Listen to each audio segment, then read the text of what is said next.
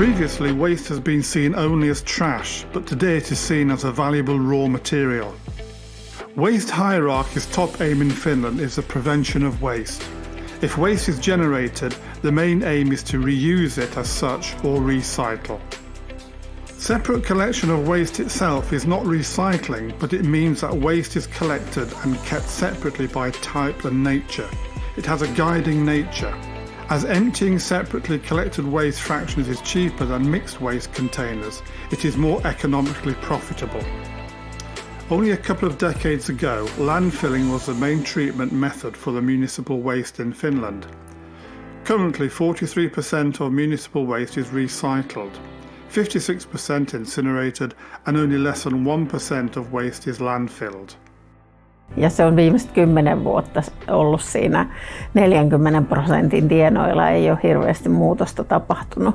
Et vaikka ollaan tehty paljon niin kuin kierrätyksen lisääviä investointeja, niin ja kierrätyksen niin kuin määrä on lisääntynyt, niin prosentuaalisesti kierrätys ei ole lisääntynyt, koska samaan aikaan jätteen, yhdyskuntajätteen määrä on kasvanut. Eli tarvitaan sellaisia niin kuin investointeja toki sinne käsittelykapasiteettiin. Sitten toinen, mihin nyt uusi jätelaki tuo tavallaan sen ongelman, on se, että, että tarvitaan myös niitä keräyspisteitä lähelle ihmisiä että on tutkittu ihan, että ihmiset lajittelee paremmin, mitä lähempänä se keräysastia on. The aim for the recycling of municipal waste is still much higher in the near future. 55% in 2025, 60% in 2030, and 65% in 2035. Municipalities are responsible for arranging the management of typical household waste. Usually in apartment buildings on top of mixed waste and bio-waste, paper, packages made of metal, cardboard, glass and plastics are sorted into different containers. From there these separately collected fractions go into recycling and are made into new products. Mixed waste goes into efficient and well-controlled waste-to-energy plants to produce electricity and heat. Bio-waste is treated in the anaerobic digester to produce biogas and fertilizer, or composted into produce compost for soil improvement. Of these fractions, metal, cardboard, glass and plastic packages and paper is under extended producer responsibility. Also, vehicles, tyres, electronics and electrical appliances, batteries and accumulators fall under EPR. On top of these waste fractions also, textiles, side products like animal-based waste, construction and other industrial waste are being collected and recycled at the best possible rate. Recycling rates in Finland are high for many separately collected fractions. Recycling rate for paperboard packages is 116%, glass packages 98% and metal packages 85%. Plastic package has been the latest fraction added into the separate collection system. There is now a new law prepared in Finland that would require plastic packages to be separately collected in all housings with more than five apartments. The recycling goals of European Union works as a big motivator, which states that by 2025 plastic recycling should reach 50% from the current 42%. One of the greatest successes in getting plastic sorted and collected is deposit beverage packet system, where the return rate is as high as 92%. The biggest struggle of plastic recycling is the lack of demand for recycled materials in the industry. Several Finnish companies use recycled plastic in multiple ways. Crosswrap produces bale wrappers for plastic recycling and waste to energy plants.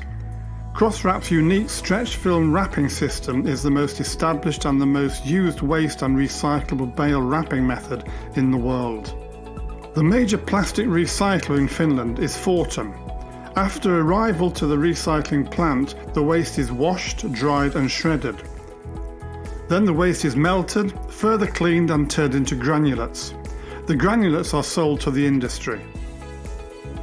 Recycled and bio-based plastics are resources for different companies in Finland. Bioland Limited uses recycled plastics for garden soil packages. Plastics Limited produces watering cans, sledges and spray bottles from recycled plastic, The company has products made from bio-based plastic with a negative carbon footprint.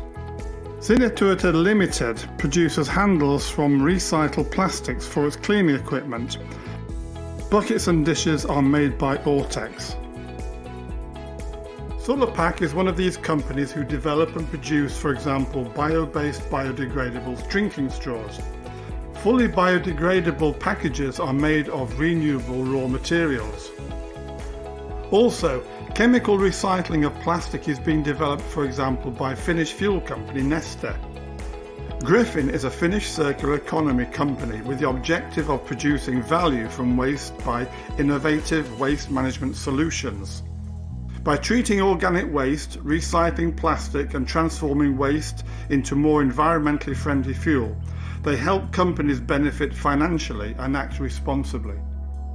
Glass is collected from Rinky Echo take-back points, sorting stations, households and stores. In 2019, 80 million kilograms of glass packages were bought into the market and the recycling rate was 98%. Uusiainos Limited collects, cleans and recycles glass from all over Finland. Recycled glass is processed into foam glass. Foam glass aggregate is a lightning and insulating material that can be used in a wide range of structural solutions for infrastructure construction and house building. Uusi aines on ö, lasin kierrätysyritys. Vastaanottamme tota, ö, lasia teollisilta toimijoilta ja, ja kuluttajilta.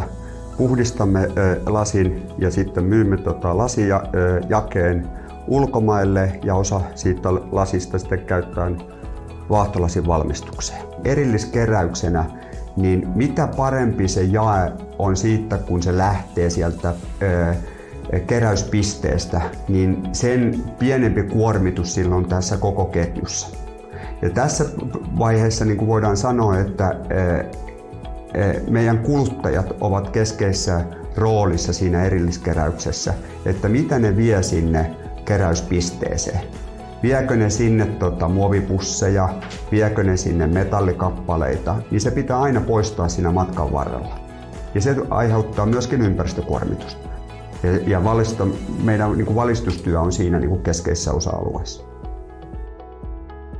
The textile industry has taken major steps in developing recycling and even producing textiles with new techniques. In accordance with the EU Waste Directive, separate collection of textiles must be implemented in all EU member states by 2025. Separate collections of textiles will be introduced in Finland in 2023, two years earlier than required. When textiles are collected, they can be sold and further processed into products for use in the automotive industry, for example, and can be made into recycled fibres and recycled textiles. We have an entirely separate episode that focuses on the recycling of textiles. Construction waste includes different materials. Some of them are more difficult to recycle in Finland, between 50 and 60% of construction and demolition waste is recovered as material, and the aim is to reach 70%. Part of the waste is recovered as energy.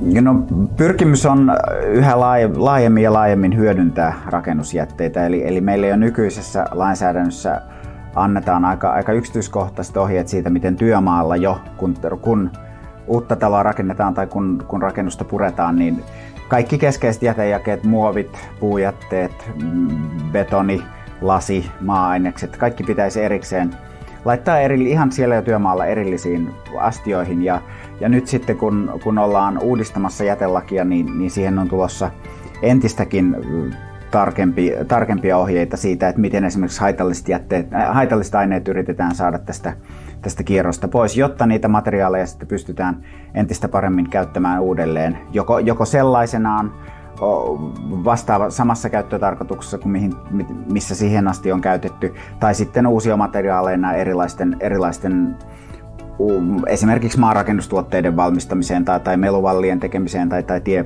tienpohjiin tai muuhun Eli, eli lähtökohta on se, että, että rakennusjätteitä käytettäisiin mahdollisimman paljon uudelleen ja, ja että niille se ennen sitä uudelleenkäyttöä tarvitsisi mahdollisimman vähän tehdä.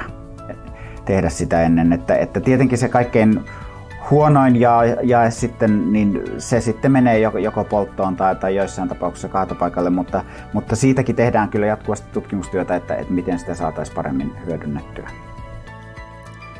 Oulun Energy sorting plant in Rusko handles packaging waste and construction and demolition waste generated by trade and industry. The plant accepts also demolition and construction waste generated by households.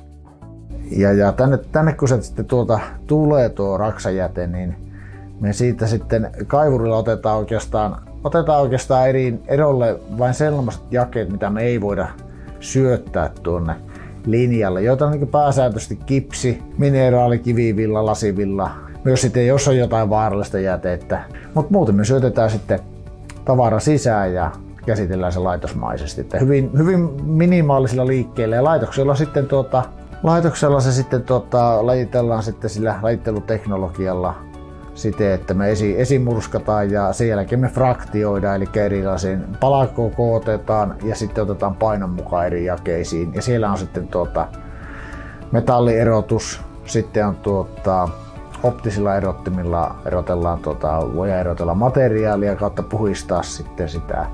Ja kierrätyspuuta me otetaan talteen sille, sille oma talteenottolinjansa. Ja ja oikeastaan sillä tavoin voi sanoa, että sinne ekovoimalaitoksellekin päätyvä osa on aika paljon mineraalista tavaraa, joka käy käytännössä siis kiviaineessa, joka käy puhdistamassa poltossa. Että mehän käsitellään sitten kuona. Kuona osatellaan oikein loppuun asti, niin tästäkin lähtevät rakennusjätteen mukana tulevat mitä vielä on, otetaan sitä ekovoimalaitoksella energiana talteen, jos sinne päätyy tämmöistä puuta, muovia jonkun verran, niin se kivimateriaali sitten tulee kuonnassa takaisin tänne ruskoon meidän yhteistyökumppani käsittelee, ottaa sieltä loputkin metallit, mitä on otettavissa kuonasta, puhistaa fraktioi eri palakokoihin sen kuonan ja se käytetään maarakennusaineena nykyisen maarakennusasetuksen puitteissa. Eli menee esimerkiksi asfaltoituihin kenttärakenteisiin, tierakenteisiin sun muualle. There are multiple companies operating in construction and industry waste. Kuusakoski Recycling is an environmentally friendly provider of recycling services. They have minimised the amount of waste going to landfill and can currently recycle or reuse up to 90% of materials they collect. Lotus Demolition offers comprehensive demolition services and offer customers a possibility for real-time monitoring of the demolition site. Remio, an environmental management company, has built a new waste treatment facility, for example, to handle construction waste. No oikeastaan Remeo on suomalainen yhtiö, logistiikka eli jätteen kuljetusta ja jätteen käsittelyä. Ne on ne meidän päätoimiala. Meillä on, on itse asiassa meneillään tänne Vantaan alueelle niin, niin äh, investointi, jossa on, on hyvin pitkälle jo rakennus on käytännössä äh, noussut jo, ei ihan vielä valmis. Ja nyt ensi vuoden aikana niin itse asiassa se se tehdas valmistuu niin, että vuonna 2021 loppupuolella niin avataan ovet ja vastaanotetaan sinne jätteitä sitten. Käytännössä siellä on kaksi, voi sanoa jätejaetta iso, on, on rakennusjätteitä eli rakennusteollisuudesta tulevat jätteet ja toinen on kaupan ja teollisuuden.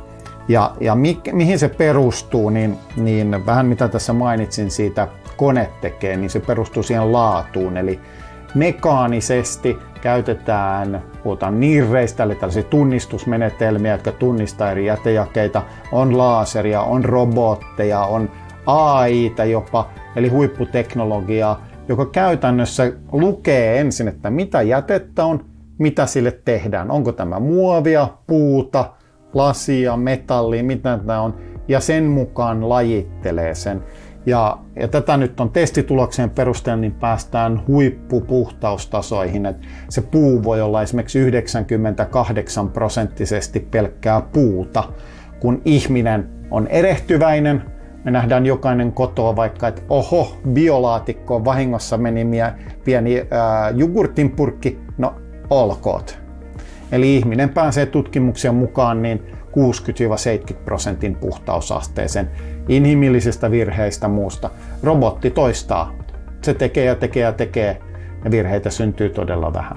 Eli sen takia me uskotaan, että tähän ollaan investoitu nyt sitten 35 miljoonaa euroa tähän uuteen laitokseen. Often the waste needs to be pre-processed before recycling. This can be done using specialised machinery such as those offered by Kivisampo, Ferroplan, Tanner and BMH technology. One of the surprising valuable side streams is the slaughter and other animal based waste. Honkayoki Limited operations help to ensure that animal derived raw materials return to the cycle of nature, in line with the principles of the circular economy. The company recycles non-food grade animal-based byproducts from farms, slaughterhouses and meat cutting plants. Their services include the whole chain from collection logistics to products distribution and everything in between. Honkayoki produces valuable end products and protects the environment, eliminates waste problems and animal and human diseases. Honkayoki refines side streams into organic animal feed, fertilizers and bioenergy. Through them, the byproducts are collected effectively and in a responsible manner. No, Honkajoki toimii niin jatkeena pääasiallisesti teurastamolle suomalaiselle lihanleikkaamolle. Käyttää kotimaista raaka-ainetta ja noin 90 prosenttia raaka-aineesta tulee te, niin teurastamalta lihanleikkaamalta ihan ympäri Suomen maata ja noin 10 prosenttia on sitten niin sanottua raatokeräilyä, jossa me keräillään myös maatilalla kuolleet tai lopetetut niin sanotut sairaat eläimet ja käsitellään ne erillisellä linjalla sitten valmiiksi. Kaiken kaikkiaan nyt näyttää, että ensi vuodelle kokonaisvolyymi tulee olemaan noin 200 000 tonnia vuositasolla. Suomessa syntyy eläinperäisiä sivutuotteita noin 260 000 tonnia, eli tuhannen tonnia joka ainut arkipäivä aika merkittävä määrä, että kyllähän niille täytyy jotain tehdä ja Honkajoki on sitä varten, että se toimii. Ja kun tiedetään vielä, että eläimestä niin kuin elintarvikkeeksi päätyy ainoastaan noin 35-40 prosenttia ja se loppu on erilaisia sivutuotteita, niin kyllä me olen kovin tarpeessa, tarpeellinen tässä, tässä ketjussa. Utilisation of ash from the incineration plants is part of the economy and in some cases it includes also the nutrient recycling. Ash can be utilised in a number of different sites from forestry to earthwork depending on the type of the plant and incinerated materials and the quality of the ash. Ekolan on kiertotalouden edelläkävijä. Käsitellään teollisuuden jätevirtoja, hyödynnetään niitä ja tehdään niistä lannoitteita ja maanrakennuskäyttöön tuotteita. Pääsääntöisesti käsitellään tuhka, tuhka, tuhkasivuvirtoja ja hyödynnetään niitä maarakentamiseen ja sitten tota, metsälannoitekäyttöön. Ja sitten meillä tulee myös eläinperäisiä jätteitä, joita käsitellään ja tehdään niistä peltolannoitteita. In countries which are only developing the separate collection system, all the waste fractions should be taken into account from the beginning. Many valuable materials and products can be created from side stream and waste. The recycling business develops simultaneously with tightening regulations and goals. However, the majority of times the business model is not based on the value of the end product, but on the fee paid for recycling service. This is something that the government can reinforce to push the development of the recycling industry. Once the techniques in recycling evolves, the profitability of recycling increases without regulation. Not only is recycling important, but economically profitable. It advances circular economy and makes sure that the virgin raw materials are utilised as well as possible.